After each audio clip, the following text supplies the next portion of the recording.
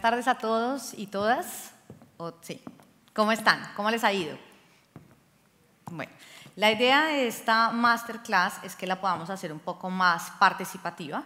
Quiero que la dividamos en dos partes. La primera parte va a ser eh, proyección de producción de proyectos en cuanto a la formación de los eventos y la segunda parte va a ser un poco más enfocada a lo que tiene que ver con los mercados musicales. Bueno, como lo decía Yul, mi nombre es Mayra Alarcón, soy de Colombia, les cuento un poquito de lo que hago en Colombia, soy gestora cultural y cuando uno habla de gestión cultural encierra muchas cosas. Dentro de la gestión cultural tengo un venue en el que el 70% de la programación que hacemos en este espacio es escenario de música en vivo, son artistas de diferentes géneros, es un espacio que lleva cinco años en el mercado, que tiene una capacidad de 500 personas, en donde hemos tenido artistas desde muy conocidos en nuestro país y de otros países que vienen invitados, hasta artistas que hasta ahora están empezando su carrera musical y hacen sus lanzamientos o fiestas de diferentes mercados y demás. Tengo un festival de rock, que se llama Electro Rock Fest. Este es un circuito de artistas independientes en el cual lo que intentamos en este festival desde el día 1 que nació en enero de 2019 es darle visibilidad a los proyectos musicales, tanto en escenarios de música en vivo como en medios de comunicación independiente, que esa es una de las cosas de lo que ahorita empezamos a mirar también.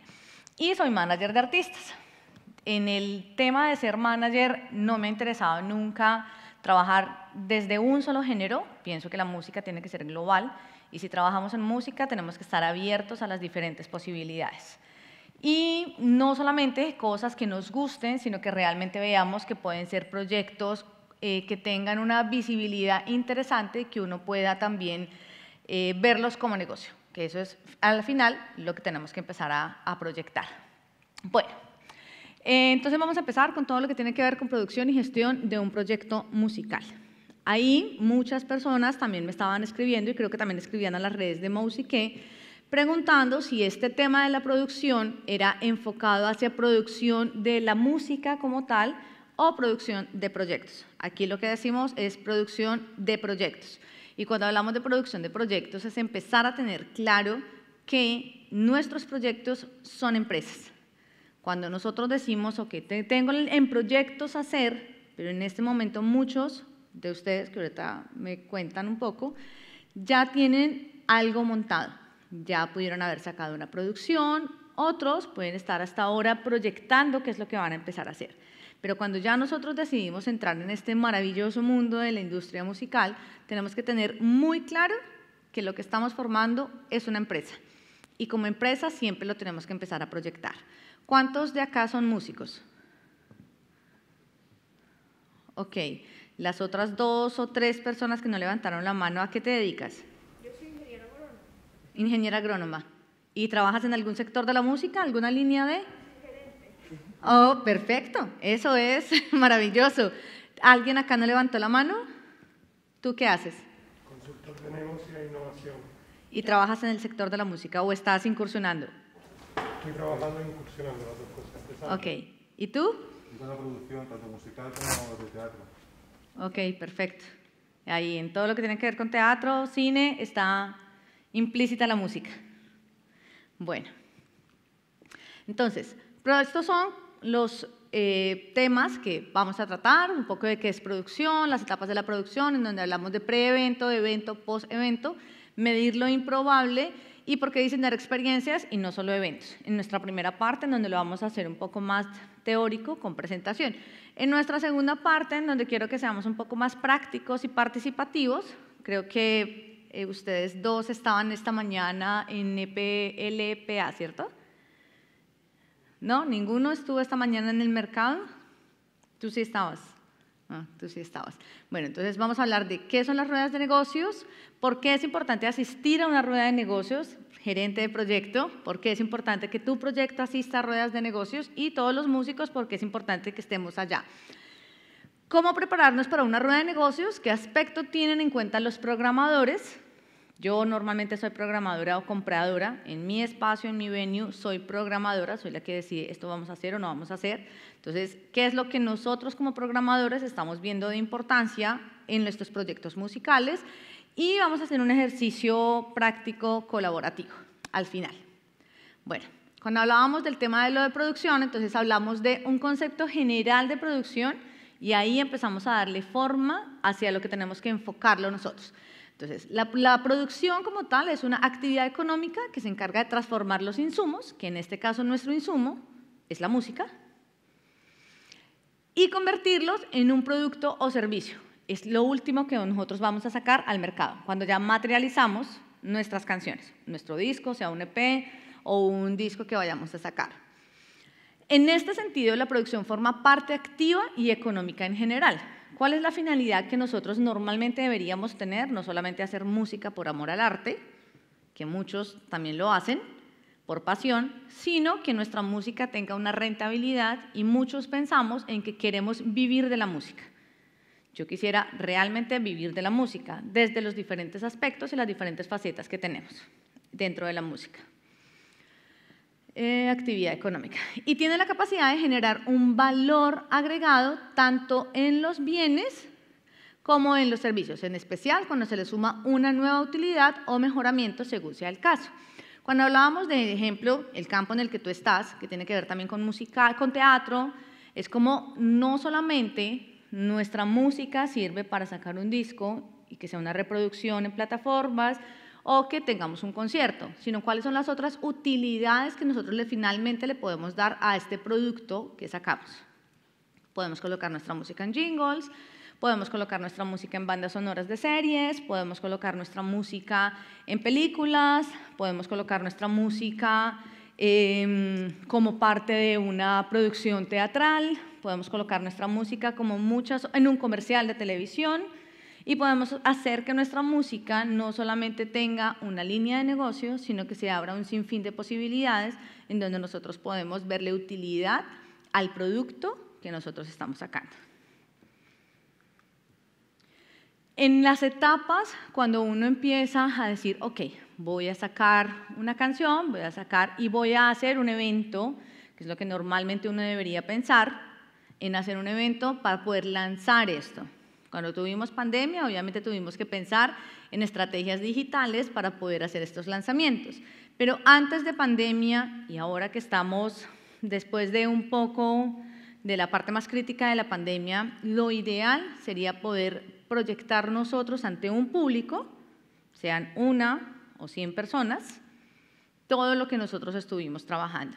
¿Cuántos de ustedes músicos han hecho lanzamientos de sus proyecciones musicales, de sus proyectos musicales en eventos con público. Ok, ok, ¿alguien más? Ok. Las dos personas o tres que son músicos y que no lo han hecho así, ¿cómo normalmente hacen sus lanzamientos? ¿O hasta ahora van a sacar? Normalmente ha sido con público siempre. ¿Perdóname? Ok. ¿Tú? Ok, sí. ¿Músicos de sesión? Ok. Bueno, ¿y tú? ¿Cuándo haces, cuándo fue el último lanzamiento que hiciste con público? Año y medio de pandemia. Ajá. ¿Y tenías presente esto? ¿Qué pasa antes, como tenerlo más proyectado durante el evento y después del evento? Sí, era consciente eh, y, bueno, eh, intentaba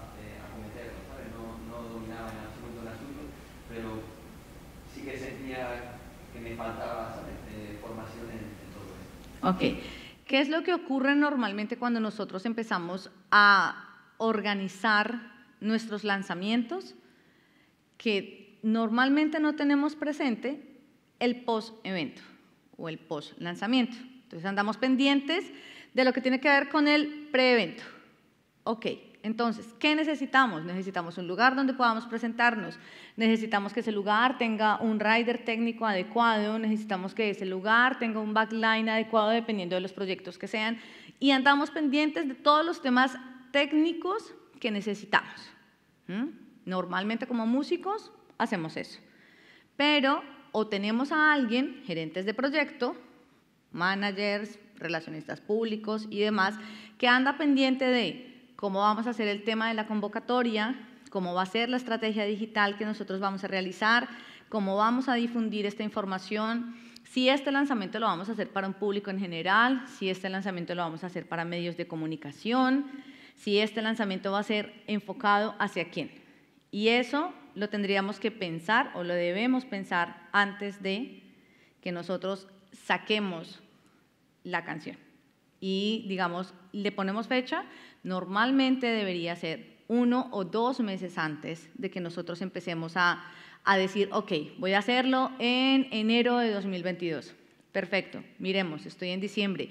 Diciembre, enero, si me da para poder tener toda esta proyección, Hoy en día, de manera digital, uno puede hacer muchas cosas. Puedes enviar las invitaciones de manera digital, ya no necesitas que sea un correo físico para poder tenerlo. ¿Qué es lo que quieres comunicar con esta invitación? Y todos estos factores tienes que empezar a tenerlos en cuenta en la proyección de un pre-evento. Sea para lo que ustedes deseen hacer. Esto sea para un lanzamiento musical, esto sea para un evento, concierto que ustedes quieran realizar, esto sea para invitar a la gente a que vaya a un concierto del cual tú haces parte como músico de sesión, si tú quieres que vayan y vean también tu trabajo, porque finalmente los músicos de sesión siempre se están vendiendo, como todos nosotros los estamos haciendo. Ellos venden su trabajo y nosotros vendemos pues obviamente todo el otro proyecto. Durante el evento ya nosotros empezamos a mirar todo el tema. Perfecto. Hoy llegué acá, ya todo el equipo del teatro se encargó y de Musique se encargó de tener toda la preproducción. Yo llego, estoy aquí, me encargo de traer mi presentación y tengo que, entonces, saber qué es lo que tengo que tener para ese día. Ok, tengo una preparación de la presentación, tengo una preparación de que llegue unos minutos antes, a tiempo, para que el equipo pudiera probar que si no servía, entonces, en el caso de ustedes, tengo que llegar antes y puntual a las pruebas de sonido, tengo que verificar que el día del evento todo esté funcionando. ¿Por qué? Porque ahí empiezan los imprevistos, en los cuales nosotros tenemos que tener unos espacios para que realmente podamos darles manejo a este evento. Y por supuesto que en el momento del evento, la cúspide de lo que nosotros estuvimos preparando uno o dos meses, salga perfecto. Y en este orden de ideas volvemos al pre-evento, en donde no solo la planificación fue importante, sino planificación del evento, sino el ensayar y el saber que el producto final que vamos a terminar vendiendo va a salir en óptimas condiciones, porque eso es lo que a un público, sea un público general, va a cautivarlo, sea un público específico, como medios de comunicación, productores, compradores o demás, va a cautivarlos y esto tenemos que prepararlo en. Resulta que hoy termino yo mi evento, hoy termino yo mi charla. Dejé el tema ahí, nunca me preocupé por quiénes eran las personas que venían, nunca me preocupé porque de pronto el señor que está sentado en la tercera fila la señora que está sentada en la cuarta fila también tiene un mercado musical en Europa y le interesaría poder tener a alguien que dictara también unas charlas. Nunca me interesó conocer el público que yo tengo este día. Entonces no me voy a enterar de qué es lo que más puedo hacer. Y esto es supremamente importante, porque uno dice, toqué, lancé, ya, perfecto. ¿Cuánto se vendió o no se vendió? Y listo. tema cerrado. En este punto es muy importante que nosotros utilicemos unos KPI para poder medir los resultados. Estos son indicadores claves de desempeño. En este ustedes pueden empezar a revisar cuáles son los puntos más importantes que ustedes van a tener y qué les interesa medir. Entonces, ok, me interesa tener claro cuántas ventas hubo en caso de que vaya a tener taquilla.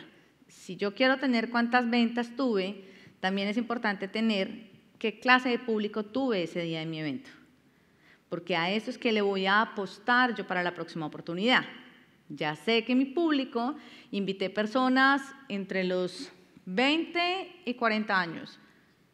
Pero resulta que el día del evento vinieron personas solamente de 20 a 30 años. Los de 30 a 40 no salieron de sus casas. Y esto fue algo que empezamos a notar muchísimo después de que pasó la época más crítica del COVID. ¿Por qué? Porque las personas entre más adultas somos, le teníamos más respeto al tema. Y empezamos a decir, no quiero salir. Yo prefiero hacerlo todo de manera virtual, hasta que no hubiese una vacuna.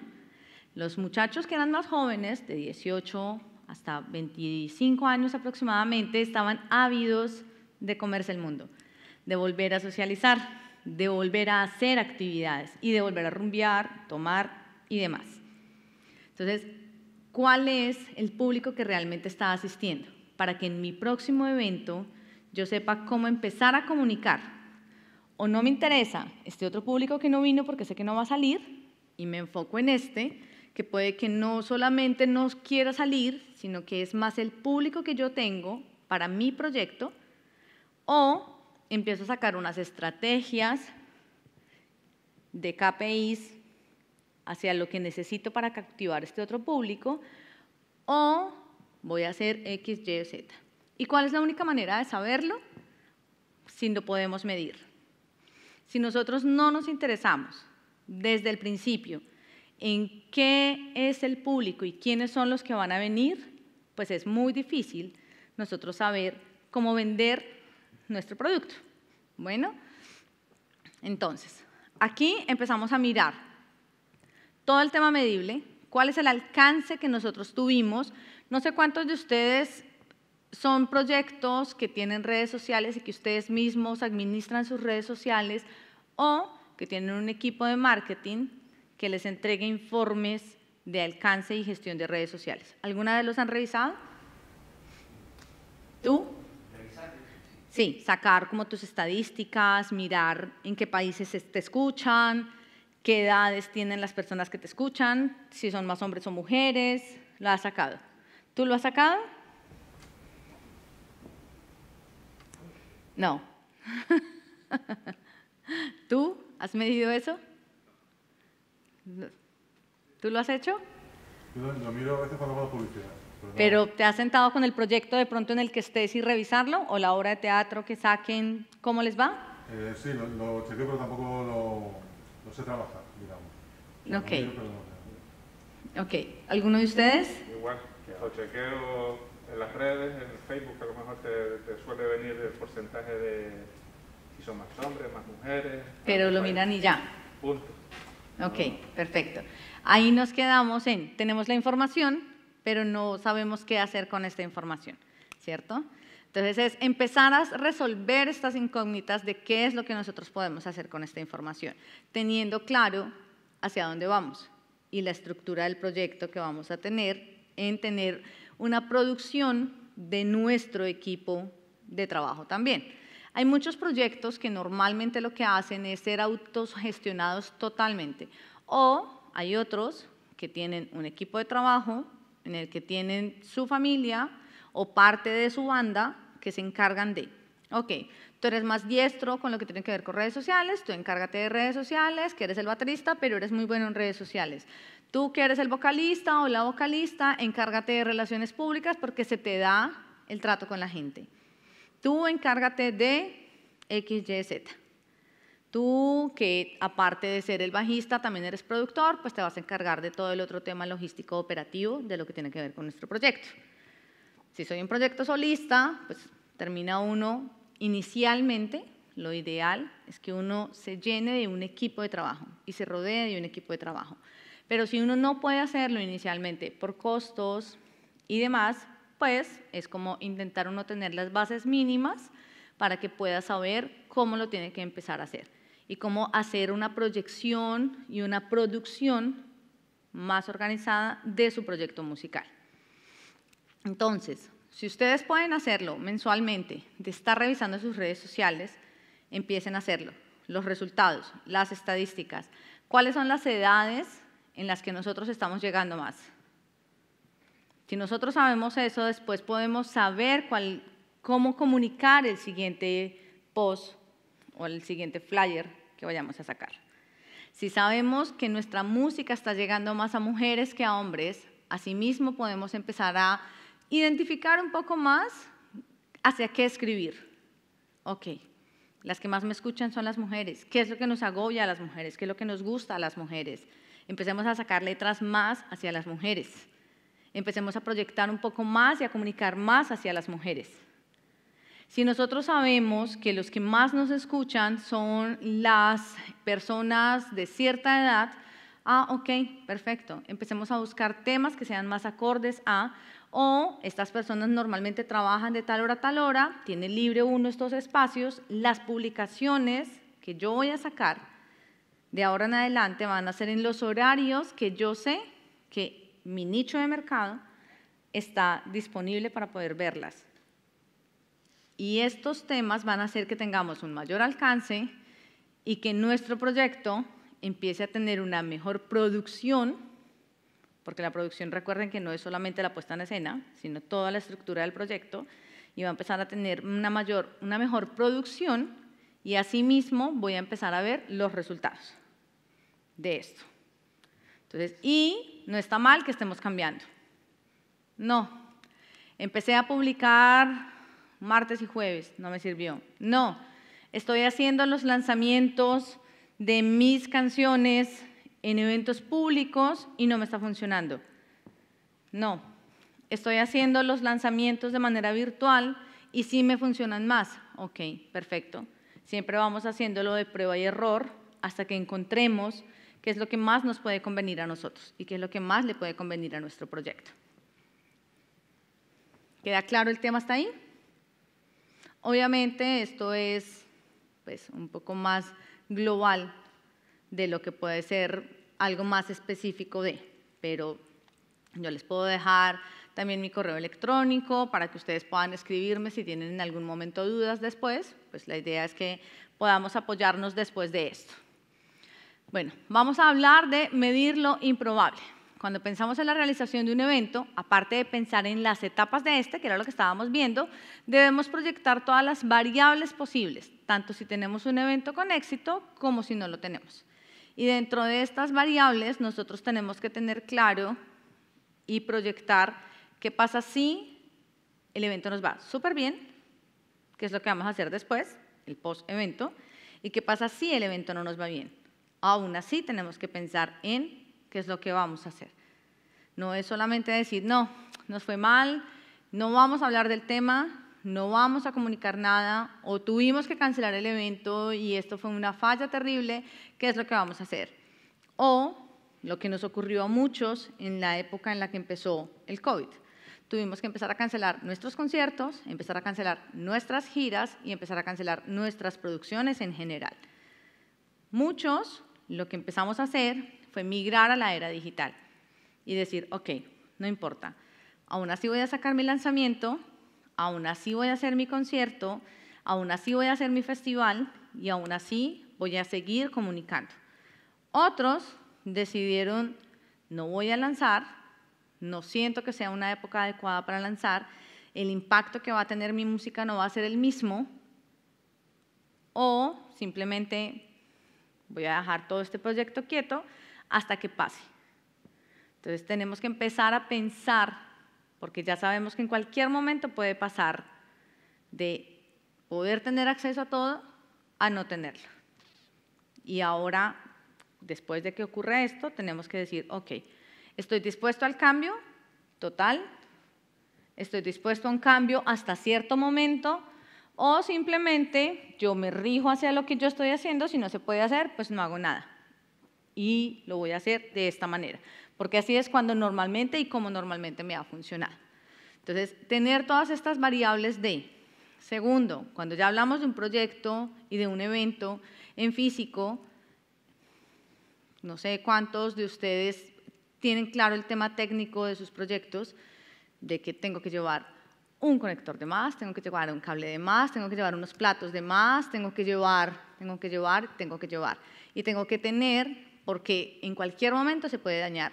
En cualquier momento se me rompió la cuerda de la guitarra, en cualquier momento se me dañaron los platos, en cualquier momento el cable no me sirvió, en cualquier momento pueden ocurrir muchas de estas cosas. Y todo esto lo tenemos que tener muy presente y casi que llevar esta maleta salvavidas o mirar las opciones en conciertos que puedan ser un poco colaborativas, que eso lo vamos a mirar ahorita, con los otros proyectos que vayamos a ir manejando. Y en esto de medir lo improbable, también nos pueden servir los KPI. ¿Por qué? Porque cuando nosotros empezamos a hacer mediciones con unos KPI en el que uno puede darle la estructura que uno desee. Hay unas que son ya un poco más técnicas, en donde te dicen cómo tienes que hacerlo de esto, este es el paso uno, este es el paso dos, este es el paso tres, y así sucesivamente. Otras en las que ustedes le pueden empezar a dar la estructura que ustedes deseen, de acuerdo a las prioridades que ustedes vayan teniendo de su proyecto. ¿Mm? No, para mí es más importante hacer esto primero. No, ahí van ustedes y van dándole forma.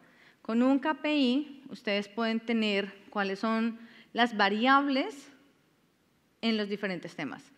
En un evento en vivo, cuáles son las variables de redes sociales, cuáles son las variables de épocas, cuáles son las variables de una gira y cuáles son las cosas que ustedes deben medir y que se deben tener en cuenta en esta clase de actividades. Y lo más importante, que es lo que nosotros estamos viendo de diferencial. No solamente hagamos un evento, no solamente lancemos una canción, no solamente generemos una actividad, no solamente mostremos una obra de teatro, no solamente hagamos un musical. Nosotros tenemos que ofrecer y diseñar experiencias. En este ofrecer y diseñar experiencias es donde se crea un diferencial de quienes quieren volver se sienten identificados y quienes no quieren volver no se sienten tan identificados y simplemente pasó desapercibido el tema. Entonces también conocemos los diseños de experiencias como marketing experiencial y es la técnica con la cual las empresas están ahora más concentradas en el cliente. Volvemos a lo mismo. Si nosotros tenemos claro cuál es nuestra audiencia, nosotros podemos llegarle mucho más fácil a esta audiencia. Podemos tocar fibras con esta audiencia, no solamente sacar o hacer por hacer o sacar una canción por sacar. Hay un artista que en mi país es muy polémico y es de amores y desamores y es Camilo, el esposo de Baluna, el más nominado a los Grammy. Ellos y él saca su música que le llegue a la gente. Mi tío, una persona que no manejaba redes sociales, que no sabía de actualidad musical, se sentía muy identificado una persona de 58 años, 60 años, se sentía muy identificado con la canción que sacó Camilo, en donde mostraba los obreros y sus trabajadores construyendo su casa. Con la canción de No tengo ni un peso, creo que se llama la canción. ¿Por qué? Porque mostraba la realidad de lo que era el día a día de lo que ellos estaban haciendo.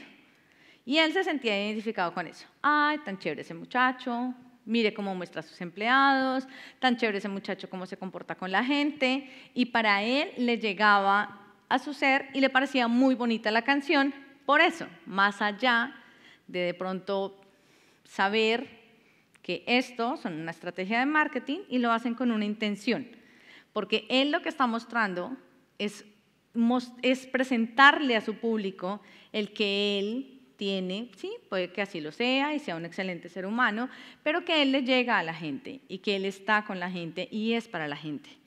Y la mayoría de las canciones de Camilo son con intención de diseñar experiencias, son con intención de mostrar ese amor bonito que se tiene, ideal, que a muchos les parece, por eso decía que en Colombia es un poco polémico, porque a muchos les parece muy irreal pero otros quisieran tener un amor como el que él tiene con Eva Luna. Y todo esto son diseños de experiencias que ellos tienen. Ellos decidieron mostrar todo lo que ellos son como pareja. Ellos decidieron mostrar ese amor que tienen como estrategia de marketing. Y diseñan esta experiencia para que la gente se sienta totalmente identificado y este muchacho, músico excepcional, artista excepcional, sea todo un éxito a nivel mundial. Tan así que fue uno de los más nominados a los premios Grammy. Entonces, es importante que nosotros diseñemos experiencias. Es importante que nosotros tengamos una intención con cada una de las cosas que hacemos. No es solamente sacar una canción, es sacar una canción con una intención, es sacar una canción con una estrategia detrás, es hacer un evento en el que yo realmente le muestre a la gente algo más allá de solamente un concierto. ¿Por qué? Conciertos podemos ver todos los días. ¿Cuál es el diferencial para que yo vaya a uno y no vaya al otro? ¿Qué los hace a ustedes decidir por un artista o por otro? ¿Quién me puede contar? ¿Por qué te decides si tienes dos conciertos el mismo mes o el mismo fin de semana? ¿Por qué decides ir más a uno que a otro? Gustos personales, a lo mejor, ¿no? Perdóname. El gusto personal de cada. Ajá. El estilo que te gusta, lo que cuesta la entrada también, supongo. Sí. ¿Qué más? Quizás un anclaje emocional. Sí. Que te sientas identificado con alguna de las canciones que tenga ese artista o haya sido importante en algún momento de tu vida. El- el- Al hilo de lo que comentabas antes, si, si te identificas con, con lo que el artista muestra y, y se relaciona con, tu, tus emociones, con tu forma de ser, entiendo que sería eh, un detonante para ir a un sitio u otro. ¿Quién más? Del estado anímico. El estado de ánimo. ¿Quién más? ¿Qué nos hace decidir entre uno y otro? la probabilidad que tenga de volver a ver en un futuro. ¿Y qué te hace querer volver a verlo? ¿Por qué volverías? Porque realmente me gusta ese artista, me llega, me, me lo paso bien en sus conciertos. Ujú. ¿Tuvo un diferencial en su concierto o tiene un diferencial con su música que me hace escogerlo a él?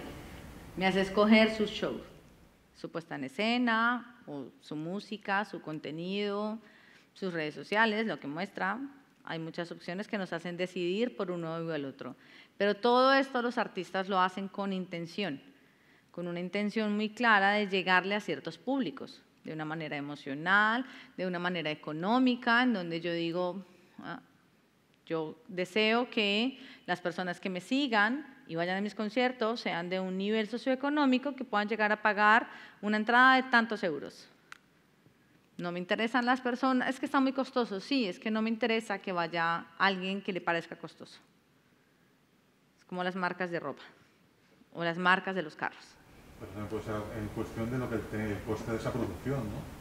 Sí, Por también. ejemplo, un caso como la última gira de 2 que era súper- muy, sumamente cara, las entradas no tenían ese precio, era imposible, y aún así no llegaron a, no llegó a cubrirse gastos. O sea, que también dependerá de eso, ¿no? Más que otra cosa. Ajá. En muchas ocasiones, con lo que te estás diciendo, los artistas invierten mucho dinero en la producción musical y no dejan un porcentaje alto para el tema de publicidad.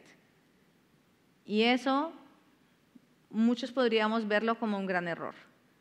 Sí nos tenemos que preocupar por el contenido y el producto final, pero no hacemos nada con un producto final excelente si no proyectamos y en todo el proceso de querer sacar nuestra música, no tuvimos presente que teníamos que pagar por pauta, porque teníamos que hacer una muy buena campaña de expectativa, porque teníamos que hacer un muy buen manejo de prensa y en ese manejo de prensa teníamos que contratar a alguien que se encargara de hacernos todo el free press, que fuera realmente atractivo para el público y que teníamos que, y en ocasiones, canciones que no son tan costosas en el tema de producción o que no tuvieron un muy buen video, pero que tuvieron una muy buena campaña, son más exitosas y recaudan mucho más y se pueden vender mucho más costosas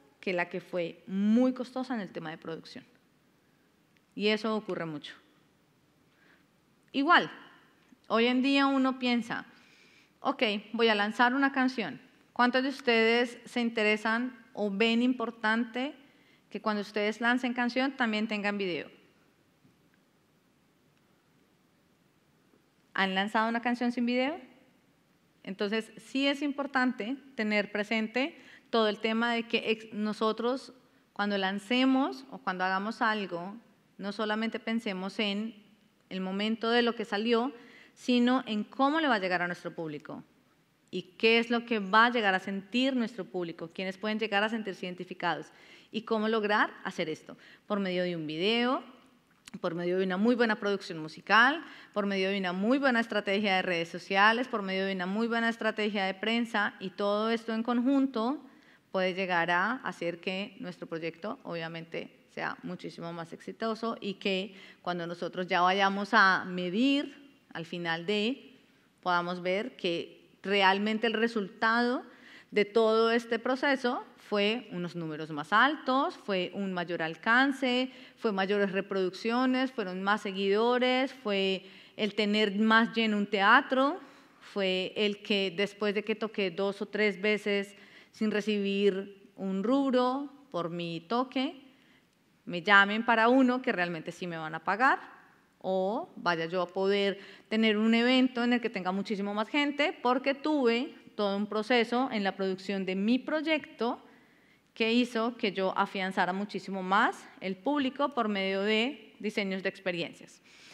El objetivo de esto es que los clientes finales, que son nuestros escuchas, tengan un mayor compromiso con la marca, lo que tú decías, me hace escogerlo, de pronto el precio, me hace escogerlo en la emotividad, entonces que este público nos escoja a nosotros por encima de cualquier persona y que también este público sea nuestro mayor influenciador. Este público que nosotros cautivamos de una manera efectiva y emotiva es el que va a ser nuestro voz a voz. Es el que va a decir, en ese evento fue esto, aquello y lo otro. Ese público es el que va a tomar fotos en nuestro evento, va a publicarlos en redes sociales, y va a ayudarnos a hacer publicidad sin que nosotros le paguemos, porque de manera implícita ya pues pagamos por todo esto que se está gestando del otro lado. Pero necesitamos diseñar experiencias en nuestros eventos, necesitamos diseñar experiencias en nuestro proyecto para que esas experiencias, nuestro cliente final, termine convirtiéndolas en un voz a voz, para que así, obviamente, nos generemos una comunidad más grande.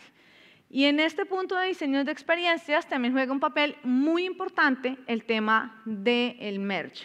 ¿Cuántos de ustedes tienen artículos de sus proyectos musicales que vendan o regalen? ¿Ok? ¿Qué tienes tú? ¿Sí? Pues hicimos camisetas y eh, hicimos eh, pegatinas.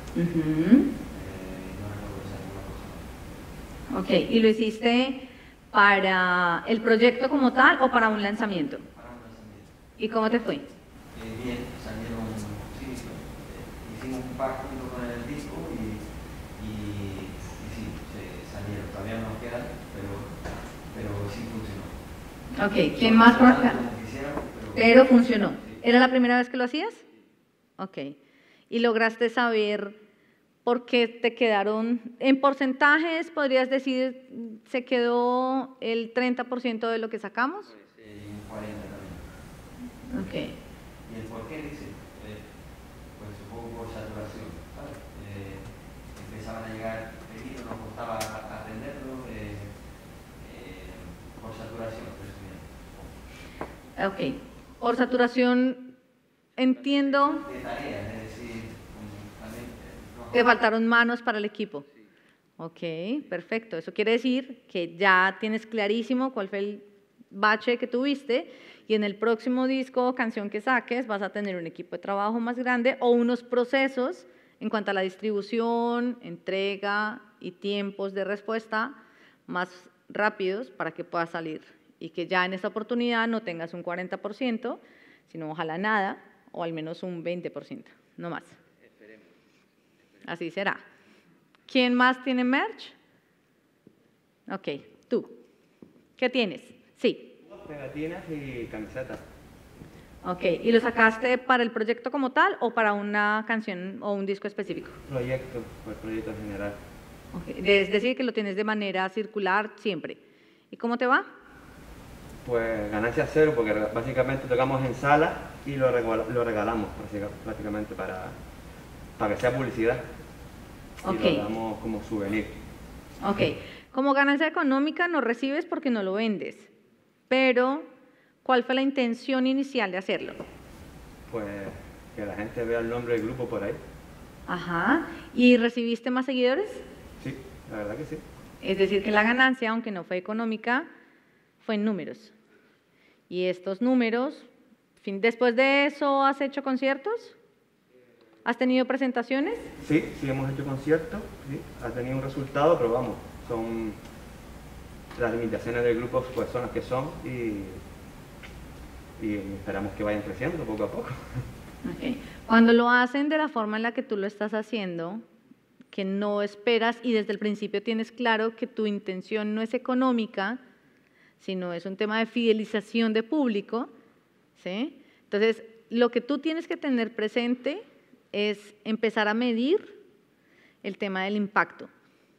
Regalamos 500 de tal fecha a tal fecha. Vamos a empezar a medir en nuestras redes sociales si ha crecido en nuestras redes sociales. Vamos a empezar a medir en que en nuestro próximo toque vayan más personas que las que fueron la primera vez y vamos a empezar a medir si en el segundo toque fue alguna de las personas que fue en el primero y a las cuales les regalé algo.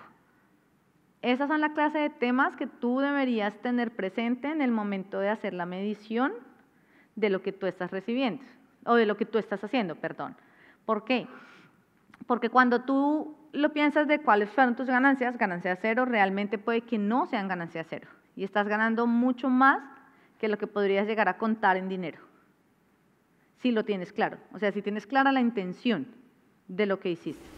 Pero lógicamente puedes hacerlo en sala, porque la- el número de ventas eh, puedes permitirte, entre comillas, pero en grandes escalas, o un festival, o un concierto al aire libre, lógicamente sí ponemos un stand, porque, a no ser que el escenario lances algo para, para, para regalar, pero vamos, eh, al nivel que estamos ahora son salas y lo hacemos de esa manera para un poco ganar público, ¿no? Y Claro. intentar darle un detalle a, a quien viene a vernos. Ok, perfecto. ¿Quién más? Tú tenías también merch, Ujú. ¿cierto? ¿Qué tienes? Eh, láminas y camisetas. Ok, ¿y lo sacaste por algo específico o por Eh, el proyecto? Las láminas, más bien era una lámina por cada tema. Cada canción del repertorio pues tenía una, una representación gráfica de lo que era eh, el tema en sí. Entonces, quien se sintiera identificado como novedad por el tema, pues dabas a elegir unas 15 opciones que era el, repertorio. 15 canciones, pues 15 láminas diferentes. Y después dos diseños de camisetas también, pues para chicos y para chicas. Y eso sí lo veía yo como, como económico, para sacar algo económico, pero también la tirada fue algo simbólico, fueron 50 unidades. Tampoco sí se ganó algo de dinero, pero para volver a reinvertirlo de nuevo y, intentar crecer un poquito más como, como banda, pero las limitaciones, como dice aquí el amigo, pues son las que son. Ok. Cuando dijiste, no sé si lo pensaste en algún momento, cuando planteaste la idea de sacar una lámina diferente por cada una de las canciones, ¿por qué lo hiciste? Porque primero me vi con tiempo, lo vi como una idea ingeniosa y novedosa aquí. No, aquí no, no veo a nadie que, que hiciera eso. Las hago yo también, con lo cual no, no invierto en, en nadie que me las haga, las láminas, el diseño lo hago yo.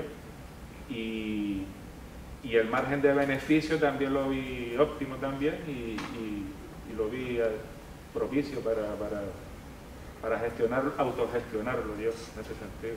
Cuando lo estabas contando, yo me imaginé como tener, alguno de ustedes tuvo de pequeño un, un, eh, ay, ¿cómo se llamaban? Donde tú colocabas pegatinas, un álbum. Ok. Cuando lo estabas diciendo, yo me imaginé un álbum físico de láminas en el cual yo tuviera claro que me hacía falta la 3, que era la canción tal. Y si llenaba el álbum, podía tener un beneficio. En teoría, no sé cómo lo estás enfocando, si algo muy puberil a lo mejor o, o algo bueno, no sé cómo, cómo lo estás diciendo. ¿A qué te ¿Ustedes refieres? llenan todavía el álbum de los Olímpicos? Eh, ¿Alguno? ¿El de los jugadores? no, ya. Bueno, pero algo, algo de jóvenes podría llegar a ser, de un público más joven, que es el que podría llegar a tener pegatinas son, coleccionables. láminas, son láminas artísticas, en realidad no son. ¿Coleccionables? no- sí, se podría coleccionar porque tienen un motivo, son unos colores específicos, blanco, negro y rojo, y, y es un estilo también de, de- de diseño. Entonces, como novedad, es como, no sé, puedo regalar bombillos con el nombre del grupo. Nadie vende bombillos en un concierto. Y ahí generas una experiencia diferente. Tú lo estás diciendo. Acá nadie había hecho eso. Y es una, que tú sepas. ¿Sí? Y es una novedad. Y es una experiencia distinta a lo que normalmente podríamos llegar a hacer. ¿Cuándo cumple un año tu producción? ¿O ya la cumplió? Ya la cumplió ya, sí, pero es un año. ¿La cumplió en pandemia? Sí, Ok. Yo podría pensar, si te quedaran todavía, o si quisieras sacarle más provecho al tema, en el aniversario y revisar con tu público cuántas tienen. Y así medir fidelidad. Ok, Lo que sí hacía era mezcla, a lo mejor si me compras una camiseta o de tal fecha a tal fecha, pues te regalo una lámina, por ejemplo, o sea, algún tipo de estrategia, o si me compras dos camisetas, eh, te regalo dos láminas, o si me compras tres, te la dejo al precio de dos. Y así yo también me voy quitando estos que tengo yo ahí, en, en láminas sobre todo, camisetas te digo, eso fueron 50 unidades y sí se vendieron todas.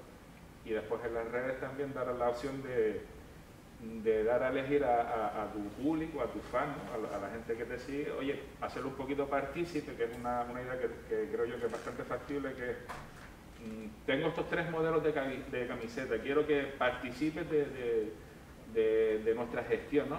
Ayúdanos a elegir qué modelo de camiseta es el que queremos Sí. nosotros. Entonces, ¿y, y lo haces por medio de encuestas en redes sociales? lo involucra. Eh, lo hice una vez, mm, funcionó bastante bien, pero a pequeña escala, las cosas como son. Eh, no, es- no hay 10.000 seguidores. Pero fue acorde a la cantidad de seguidores que tienes. O sea, el nivel de respuesta, por supuesto, si yo tengo 500 seguidores o 1000 seguidores, pues es un poco no tan factible que vaya a tener 2000 respuestas. Exactamente, pero es involucrarlo un poquito y hacerlos partícipes de, de tu mismo proyecto y que ellos también se sientan partícipes de, de, de- de- de la banda también ¿no? y se vean. Que se sientan cercanos. Exacto. Y ahí es donde empiezas tú a interactuar con el público, que era lo que decíamos de conoce tu público, empieza a interactuar con tu público y así vas teniendo, obviamente, mayor fidelidad y eso al final te va a repercutir en muchas más cosas. Que cuando te presentes vayas, que te escriban y sea no un bot el que les responda, sino que seas tú el que de pronto le responda. Eso obviamente no se puede hacer siempre, pues cuando ya no tengas mil o dos mil seguidores y no tengas quince mil, pues no vas a poder responder tú, ¿no? Pero siempre tener como esa interacción con el público me parece muy chévere que lo hagas de esa manera. Bueno, hace poco, dos semanas, estuve en, una ciudad de Colombia que se llama Pasto, frontera con Ecuador, en un festival de rock que se llama Galeras. Pasto es una ciudad que tiene un volcán, como lo tienen ustedes. Y ellos eh, son muy orgullosos de tener su volcán. Son muy orgullosos de sentir la Pachamama, porque ellos sienten que su volcán les genera identidad y sienten que su volcán es el que les da la fuerza para ellos poder hacer cada una de las cosas de su día a día. Los músicos se sienten muy identificados con sus temas ancestrales y con sus temas de región. En Pasto estaba en un evento que se llama el Galeras Rock, el volcán se llama el Galeras, el festival se llama el Galeras, y por primera vez hicieron un mercado musical. Yo estuve invitada como compradora y programadora del mercado, y los músicos de la región jamás habían estado en un mercado musical. Antes de enfrentarse a esto, la alcaldía, el ayuntamiento, lo que sería para ustedes esto, les hizo formaciones como esta y como las que normalmente hace Mousique para que pudieran prepararse para esto. Una de las cosas que más me sorprendió de un grupo que, aparte de que era muy típico, eh, era familiar.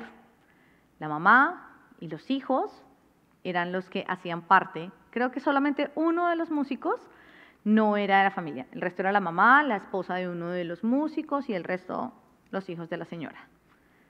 Se sientan en mi mesa y lo primero que hacen es entregarme un souvenir. La foto de ellos en un cartoncito, que yo creo que era de grande como mis dedos, que son muy chiquitos, con la foto de ellos en un cartoncito, pero la foto era color, y tenía unos aretes en él que ellos, sin tanta intención, pero sí con mucho amor, lo contaban su historia. Entonces, le queremos regalar estos aretes que son de un material, una fibra típica de la región y que hace mi mamá. Para mí fue como, wow, esto es una historia supremamente vendible. Yo viéndolo como negocio. Ellos, su primer mercado, no tenían la intención de, querían regalar algo, a ellos les dijeron en las capacitaciones, es importante que cuando ustedes se sienten con los programadores, les lleven donde mostrarles su proyecto, les lleven donde presentar esto, les lleven aquello, si tienen artículos publicitarios de su banda, lleven algo. Ellos, dentro de lo que podían y sus medios, lo que hicieron, porque juega mucho el tema económico, lo que tú decías, me sale más económico porque lo hago yo, porque no tengo que esto, no tengo que aquello, fue su mamá, teje, e hizo unos aretes en una especie de eh, mimbre, una fibra natural de un árbol. Para mí, y yo les dije a ellos, esto es, va con una historia, tiene detrás una historia, una historia que es vendible, una historia que llega y que mueve fibras, porque es una señora con sus hijos cantando música tradicional campesina de su región indígena campesina y está teniendo algo que es manual. Si ustedes llevan esto y lo venden en cada uno de sus conciertos, les va a ir muy bien. Y no tenía tanto ni inversión económica, ni, pero sí tenía una historia y un diseño y una experiencia que a la gente le da un nivel de recordación de eso que están haciendo. En otro evento, un artista de Cali, que ya es un artista internacional, que ha estado en Europa, que ha estado en festivales a nivel internacional, no vendió entradas de su evento, de el cover para el lanzamiento, este artista se llama La Mamba Negra, es Latin Jazz Salsa, y ellos lanzaron los buses de colores. Pero si yo quería ir a comprar la entrada, no me vendían una entrada. Ah, ok, entonces no, mira, realmente lo que nosotros queremos es que conozcas, entonces tenemos dos paquetes. En cualquiera de los dos te regalamos la entrada al concierto. Ah, ok, chévere. Una es la camiseta conmemorativa a buses de colores y la otra es la que te cuesta 50 euros. Mm, ok, sí, lo que podría llegar a costar una camiseta normalmente. Chévere, y apoyo a la banda. La otra opción es que compres la camiseta y compres el acetato y te cuesta 80 euros o 100 euros. Ah, ok, perfecto. Y si quiero ir al concierto con cualquiera de las dos, bueno, pero es que yo no quiero la camiseta. No, tienes que comprarlo porque realmente lo que estamos haciendo es vendiendo el merch de la banda. Esa estrategia para los eventos me parecía espectacular, porque primero estoy dando un nivel de recordación y no solamente estoy vendiendo un evento, sino vendiéndoles una experiencia también, para que ellos utilicen mi mercancía, utilicen mis camisetas o se pongan mi botón y escuchen mi música. Primero eso.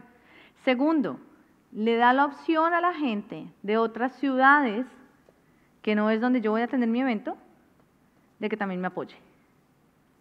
Porque siente, y eso lo podría uno pensar, si ve que en sus estadísticas su público no solamente pertenece al lugar en donde ustedes están.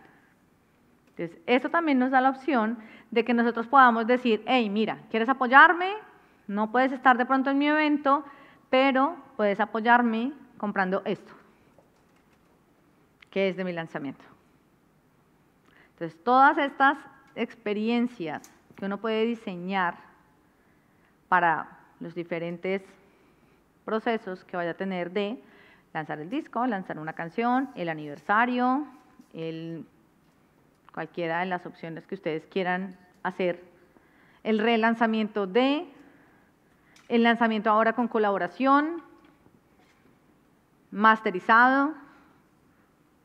Ténganle una intención también detrás de que la gente no vea que siempre están haciendo lo mismo, que la gente no vea que siempre están haciendo, los invito al concierto, porque se van a aburrir de tener lo mismo, porque no hay una intención diferente a simplemente pasar, tocar mis canciones y ya.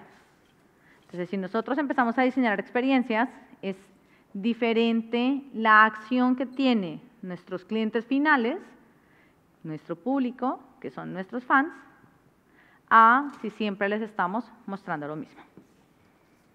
¿Listo? ¿Alguna duda? ¿Alguna pregunta que tengan hacia algo que hayan hecho de pronto y digan, mira, yo lo hice así, o lo tengo pensado de esta manera, o no me ha funcionado esto? Dime. ¿Qué te hizo decidirte a ti? Cuando comentabas el ejemplo de, de este regalo, eh, ¿por qué? Porque me identifiqué como mamá. Entonces me movió fibras. Porque es una historia que, al menos en mi país, se vive mucho, de la historia detrás de una madre sola con sus hijos, en donde tenía toda una historia detrás, ¿no? Eh, un tema de violencia, eh, se quedaron huérfanos, la señora los saca adelante, me muestran el video y realmente su historia era real, es decir, lo que vendían era real, eh, son campesinos, viven en una casa de campesinos y realmente la señora es artesana. Entonces, esa historia real para mí era muy vendible porque era muy auténtica.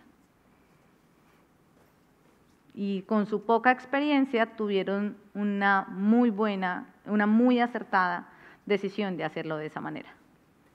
Por eso. Y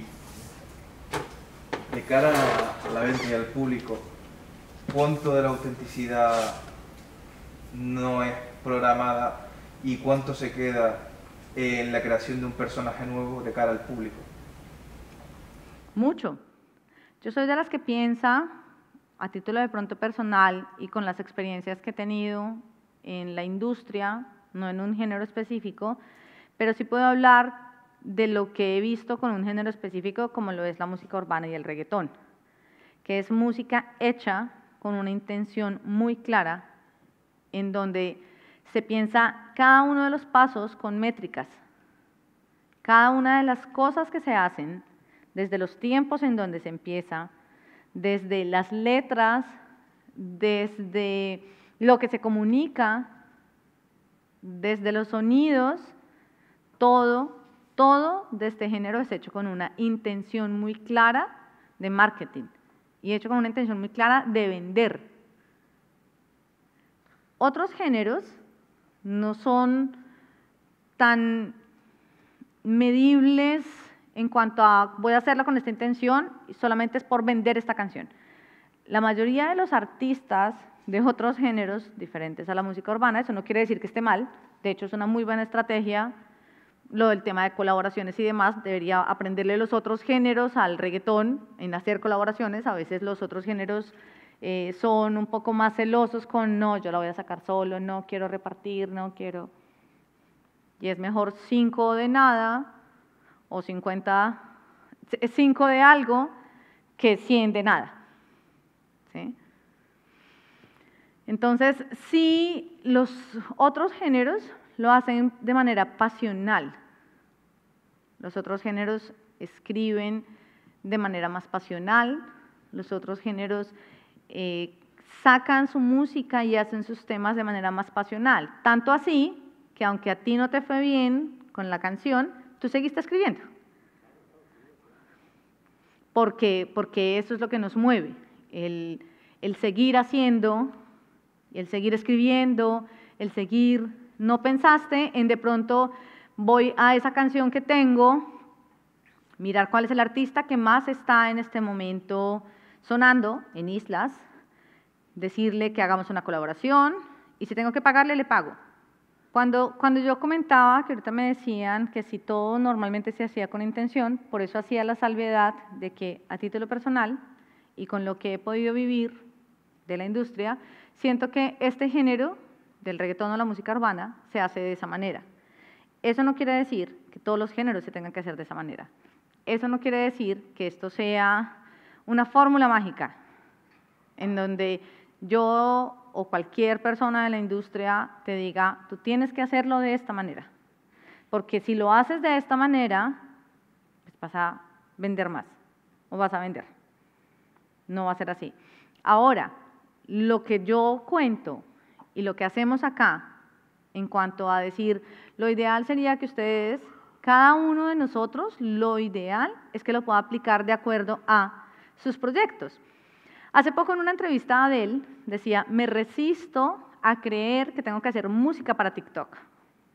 Me resisto a creer que yo tengo que estar pendiente, como tú lo decías, del tema de TikTok. Porque entonces, si yo no sonara en TikTok, no tengo ese público. Pues no me interesa ese público. Yo quiero escribirle y quiero hacer canciones para el público que no ve TikTok igual que yo. Entonces, ¿qué es lo que ocurre? Si nosotros no tenemos claro nuestro público y empecemos a mirar este tema de las estrategias digitales, no para hacer música de pronto para vender, como lo hacen otros géneros o lo hacen o lo pueden llegar a hacer otros artistas, sino que sepamos cómo vender lo que nosotros hacemos y poderle llegar al público que nosotros necesitamos llegarle. Así, reitero, como lo decía Adele, no me interesa que me escuchen los muchachos de TikTok. Me interesa que me escuchen los papás de los muchachos de TikTok. Ellos son los que me interesan. Entonces, a ti puede que no te interesen eh, las personas de ciertas edades o que escuchan ciertos géneros, pero te pueden llegar a interesar los otros y tú necesitas saber cómo llegarle a estas otras personas. Las personas adultas, y eso ya está más que claro, utilizamos más de pronto Facebook todavía, cuando los jóvenes pueden llegar a decir, no, Facebook ya no existe. No, ¿quién mira Facebook? Yo tengo dos hijos adolescentes. Mi hijo se entera de todas las canciones y de todos los lanzamientos por TikTok. Yo me entero de artistas por mi hijo de 14 años, porque él las escucha, un fragmento en TikTok, y después la busca, ahí sí, en YouTube, o la busca en Spotify. Yo me entero por él, pero mi orden es otro. Yo me entero de los artistas porque los escucho en YouTube o porque los escucho en Spotify, no me voy a TikTok a buscar la música. Entonces, si tú quieres llegarle a una persona de mi edad, yo no voy a estar en TikTok. Y eso es importante que tú lo sepas. ¿Y cómo lo sabes? Midiendo todo este tema de las redes sociales con una intención, que ya depende de tu intención. ¿Sí me hago entender?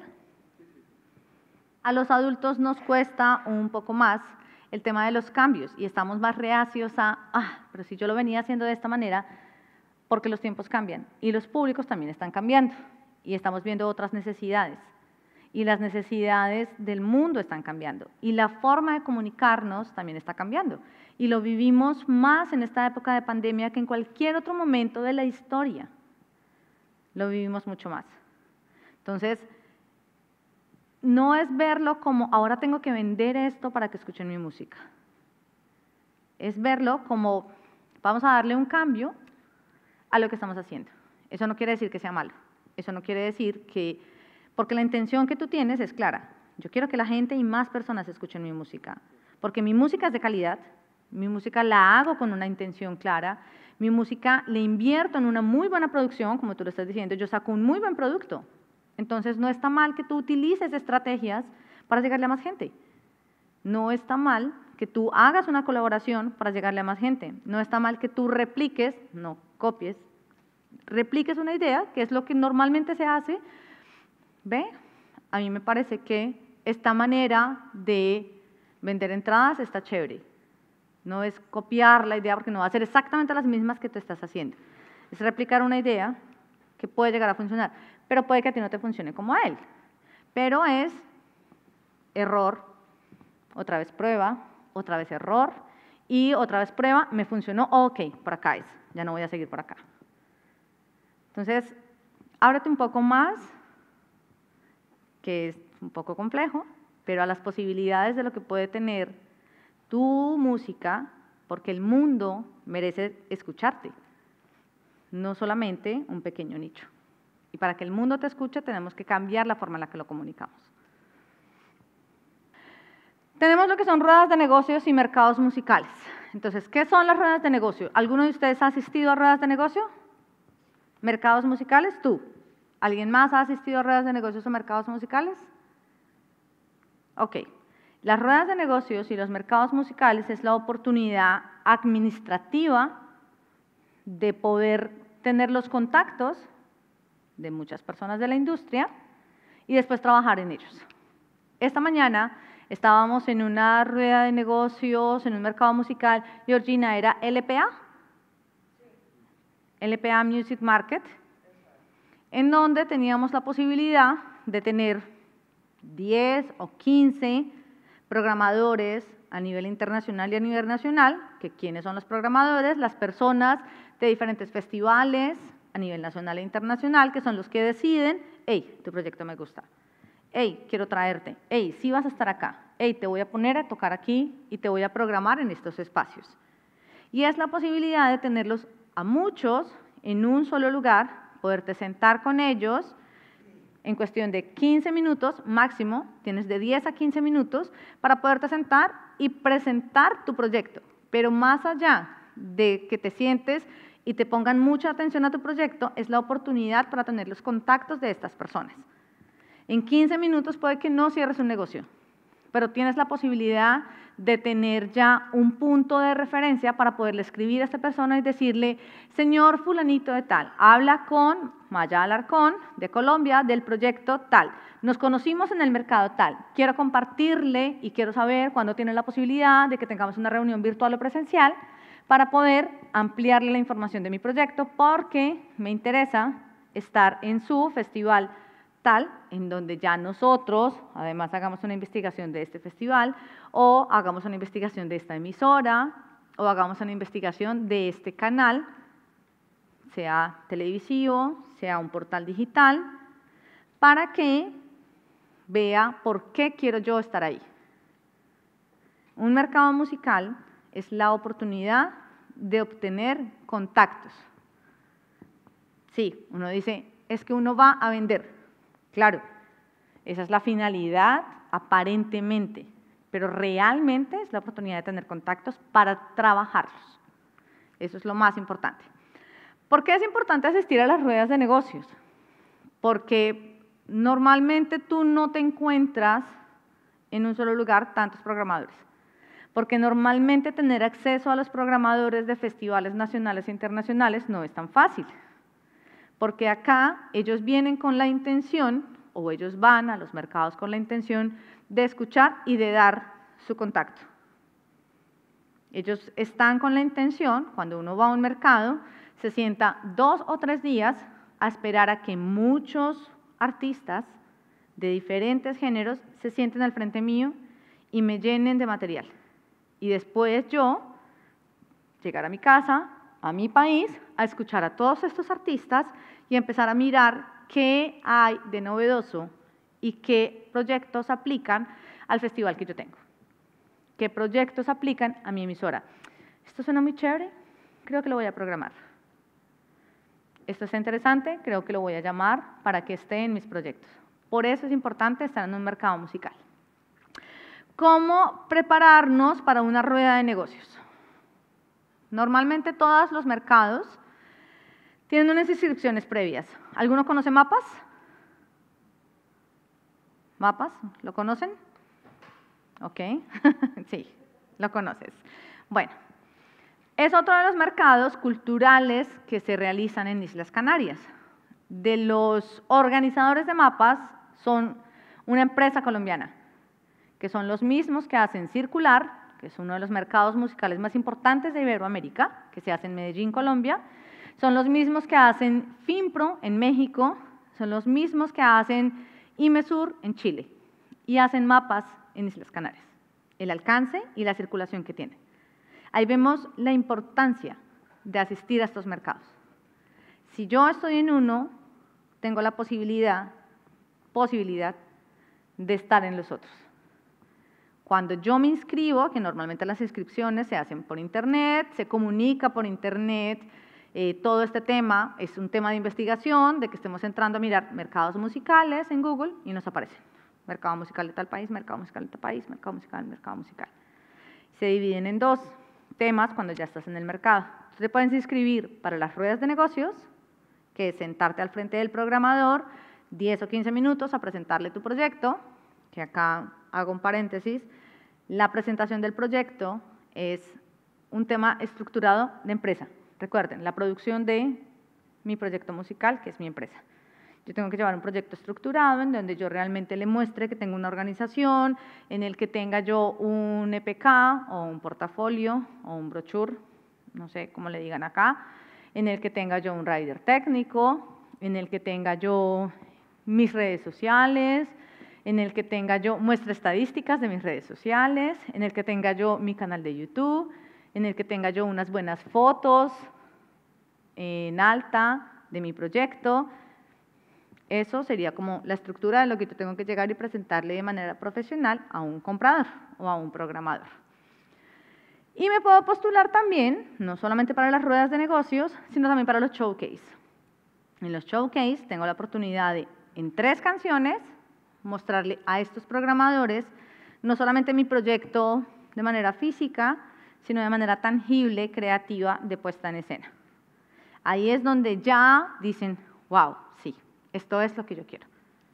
Porque algo muy diferente es verlo en papel a poder tener la oportunidad de escucharlo y verlo en acción. En ocasiones es mucho más lindo el proyecto, a veces uno se decepciona. Uno dice como, no, yo pensé que realmente esperaba más y me ha pasado. O, wow, yo no pensé que fueran a salir con esto, está espectacular, realmente sí lo quiero tener en mi bar. Entonces, por eso es importante. Y tú haces las dos convocatorias. Si quedas en uno, que los showcase, normalmente showcase va amarrado con ruedas de negocio. Si solamente estás en las ruedas de negocio, tienes la posibilidad de llegar a muchos compradores, para coger datos y trabajar. Es como esa postventa del post-evento en el tema de producción. ¿Qué aspectos tiene en cuenta un programador o comprador? Lo que les decía ahorita, la estructura del proyecto. Si a mí, como compradora o como programadora, que estoy tres días sentada, escuchando diferentes artistas, me llegan artistas que no tienen claro ni siquiera quién soy, porque normalmente en la página de estos festivales y de estos mercados musicales está el perfil del comprador y aparte está el perfil de, de qué es comprador. Entonces, Maya Alarcón, Bugaloop, Colombia, Bogotá, Colombia. Entonces ahí aparece que es Bugaloop. Bugaloop es un venue con capacidad para 500 personas que se presentan diferentes géneros musicales, tiene una bla, bla, bla, bla, bla, bla. Pero si dijera Boogaloo es un venue de salsa, especializado en salsa. No presentan otros proyectos que no sean salsa. Y se me sienta una banda de rock. No, mira, es que yo estoy muy interesado en que presentarme en tu bar. Ok, ¿de qué es? Eh, déjame ver. Pero esto es rock. Sí, sí. Ok, tú ni siquiera leíste qué soy. Ni siquiera te interesaste. Y simplemente lo que hiciste fue sacarse eh, citas por sacar citas. Simplemente lo que tú hiciste fue generar una cita conmigo cuando no te interesaste en saber qué era mi proyecto. Entonces, sí es importante cuando hagan este tema de las citas, del proceso de inscribirse, revisen quiénes son, tómense en el trabajo. Vamos a mirar quiénes son, vamos a mirar quién nos interesa. Esta mañana que yo estaba en este mercado musical, yo no me inscribí como programadora, estaba como invitada, revisé quiénes eran los compradores que estaban, soy manager de una banda de salsa, soy manager de un artista de rock, de una banda de rock, soy manager de una artista de rap, trap, rap. Miré, ah, ok, me interesa este del festival tal. Entré a la página, revisé cuándo era la fecha en la que se hacía, sentarme con él y decirle, ok, me interesa tener mi banda de rock contigo, sé que el evento es en febrero de 2022, ¿aún tienes la convocatoria abierta? Sí, tengo la convocatoria abierta hasta el 5 de enero. Perfecto. ¿A dónde te puedo enviar la información? Sí, mira, anota esto, aquello, lo otro. Puedes enviármela. Perfecto. hice una investigación previa de lo que aparentemente estoy interesada en tener. A ese, a ese festival yo no le iba a ofrecer mi banda de salsa, porque me va a decir, esta vieja está loca. ¿Para qué me ofrece una banda de salsa? A ese festival yo le voy a ofrecer mi banda de rock. Y lo que nos decían hoy, no sé si estuviste en la charla, los programadores también revisan el hecho de que como políticas públicas de tu ciudad, tú puedas llegar a tener la opción de autogestionarte el tema de tus tiquetes cuando es a otros países. Si a ti te presentan como programador o comprador dos propuestas, como lo decían esta mañana, y una de esas dos propuestas te dice, ok, yo puedo llegar a Milán. Si tú me invitas a tu festival, yo puedo llegar a Milán, porque con los recursos que se tienen acá del ayuntamiento, la convocatoria tal, la carta de invitación que tú me des como festival, yo puedo gestionar llegar allá. Ah, ok, perfecto. Y hay otro artista que dice, no, yo también estoy muy interesado, y tú puedes conseguir cómo llegar a, no, les tocaría que me pagaran los tiquetes, me pagaran el hotel, y aparte de eso me pagaran, pues, el fin que cobramos como artistas. Ah, ok, vale, muchas gracias. Voy a escoger a este. Le puedo pagar el hotel, le puedo pagar el fin, pero él me está dando la opción de que yo no voy a gastar en los tiquetes de. Entonces, es importante también tener claro cuáles son las ayudas que nosotros podemos llegar a tener de manera interna en cada uno de nuestros países o ciudades. Em, y como ejercicio teórico práctico, yo quería que hiciéramos un poco de un tema colaborativo que en ocasiones nosotros como artistas perdemos mucho. Y es, no tenemos dinero para poder tener un equipo de trabajo y nos quedamos cortos en la ejecución de muchas cosas. Y resulta que en, nuestro medio existen personas que pueden llegar a servirte en lo que tú estás haciendo intercambiando servicios. Entonces, ¿qué tengo yo? Y eso es algo para que ustedes lo analicen. ¿Qué tengo yo para dar a cambio de qué? Y no todo es dinero. Yo tengo un estudio de grabación en el que tengo dos horas al mes que puedo dar a cambio de que me ayuden con la masterización porque yo no masterizo. Entonces yo doy dos horas y ayúdenme con dos horas de masterización. Ah, ok, a mí me interesa tener el estudio de grabación y yo puedo masterizar. Perfecto. Yo tengo experiencia en redes sociales, yo te puedo ayudar con el manejo de las redes sociales y eh, si tu proyecto está organizado como empresa o legalmente constituido o puedes darme una certificación para la universidad, yo puedo validarlo como prácticas. Ok, perfecto, yo te lo puedo dar y te valido prácticas de la universidad. Yo estoy estudiando fotografía y me interesa que me ayudes a hacer el logo de mi nueva empresa y te saco unas muy buenas fotos de tu banda. Perfecto, canjeémoslo de esta manera. Yo te hago el logo, tú me haces las fotos. Y en ocasiones nosotros no lo pensamos. No todo es dinero, pero sí tenemos que darle un valor e intercambiar. Puede sonar a que estamos devolviéndonos a la época en donde uno daba piedras preciosas, oro a cambio de trigo. Pero en pandemia a muchos artistas y a muchas personas nos funcionó muy bien. Entonces, el ser colaborativos y el que tengo y qué me falta, qué me sobra y qué me falta. Piénsenlo y revisen que en su círculo puede haber muchas personas que necesitan algo, pero que también pueden ofrecer. Un